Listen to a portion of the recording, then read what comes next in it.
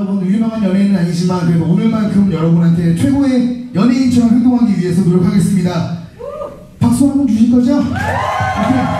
제가 준비한 노래 바로 시작하겠습니다. Let's go.